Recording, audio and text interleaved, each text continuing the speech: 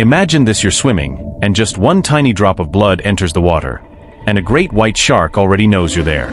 Yep, great white sharks have one of the sharpest senses of smell in the ocean. They can detect a single drop of blood in about 100 liters of water that's like a big bathtub. But here's the twist. Sharks don't smell blood because they're man-eaters.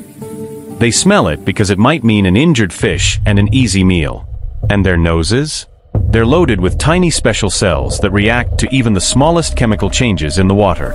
It's like having super-powered scanners built right into their face.